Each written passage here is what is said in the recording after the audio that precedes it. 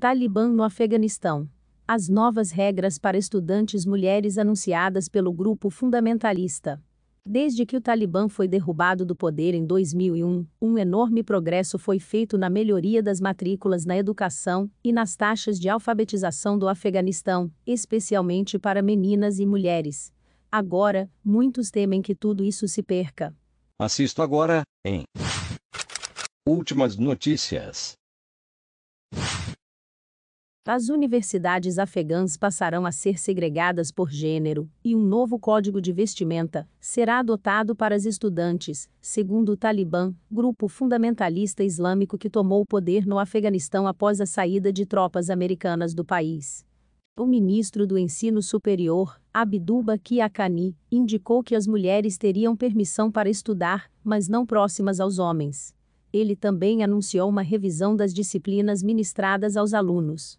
O Talibã disse que não vai impedir que as mulheres recebam educação ou tenham empregos.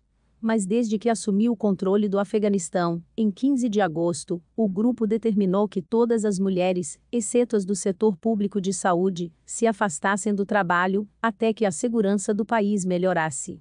O anúncio de mudanças no ensino superior ocorre um dia depois de o Talibã hastear sua bandeira no Palácio Presidencial, sinalizando o início de sua administração. A nova política educacional remete ao período em que comandou o país, de 1996 a 2001, ano em que foi derrubado pelos Estados Unidos da América por ligações com o grupo responsável pelos atentados de 11 de setembro. Mulheres e meninas foram banidas de escolas e universidades sob o governo do Talibã, depois da queda do grupo, as alunas não tinham que obedecer a um código de vestimenta, e as universidades eram mistas, com homens e mulheres estudando lado a lado. Para o novo ministro do Ensino Superior, Abduba Kiakani, não haverá problemas em acabar com o sistema de ensino misto, porque as pessoas são muçulmanas e vão aceitar isso. Desde que o Talibã foi derrubado do poder em 2001, um enorme progresso foi feito na melhoria das matrículas na educação e nas taxas de alfabetização do Afeganistão, especialmente para meninas e mulheres. Um relatório recente da Unesco, braço da Organização das Nações Unidas, ONU, para a Educação, apontou que o número de meninas na escola primária aumentou de quase zero para 2,5 milhões nos 17 anos seguintes à queda do Talibã. O relatório também disse que a taxa de alfabetização feminina quase dobrou em uma década, para 30%. Agora a situação pode piorar, segundo especialistas.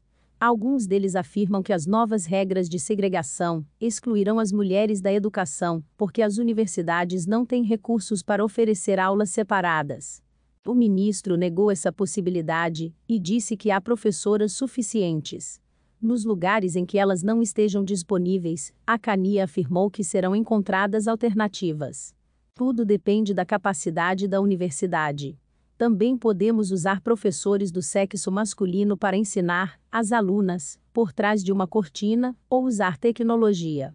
Meninas e meninos também serão segregados nas escolas primárias e secundárias, o que já era comum em todo o Afeganistão. As mulheres serão obrigadas a usar hijabs, mas a Cani não especificou se coberturas faciais adicionais seriam novamente obrigatórias. O novo ministro disse ainda que as disciplinas ministradas nas universidades serão revistas. Ele disse a repórteres que o Talibã deseja criar um currículo islâmico razoável, que esteja de acordo com nossos valores islâmicos, nacionais e históricos, e, por outro lado, seja capaz de competir com outros países. O anúncio foi feito logo depois de uma manifestação de mulheres que apoiam as novas políticas de gênero do Talibã na Saed Rabbani Education University, em Cabul. Centenas de mulheres, a maioria delas usando niqabes negros e portando pequenas bandeiras do Talibã, ouviram discursos que elogiaram o novo regime e atacaram os envolvidos em grandes manifestações em todo o país exigindo a proteção dos direitos das mulheres adquiridos, quando o grupo fundamentalista islâmico estava fora do poder. As mudanças em curso não se restringem ao setor educacional. O novo governo do Talibã substituiu o Ministério dos Assuntos da Mulher pelo Ministério da Virtude. O temido departamento foi responsável, até o início dos anos 2000, por enviar a polícia religiosa às ruas, para fazer cumprir uma interpretação radical da lei Sharia, lei islâmica. Tornou-se conhecido, por exemplo, por bater em mulheres acusadas de se vestir indecentemente ou de sair de casa sem um tutor. A iminência da retomada do poder pelo Afeganistão levou diversas mulheres proeminentes a fugirem do país antes de meados de agosto. A maior cantora pop do país, Ariana Sayed, viajou em um avião de carga dos Estados Unidos da América e a famosa diretora de cinema Sarah Karimi foi levada para a Ucrânia. O time feminino de futebol do país, criado em 2007, também conseguiu escapar. Se inscreva para acompanhar a cobertura desta e de muitas outras notícias. Veja também essas outras notícias que podem ser do seu interesse.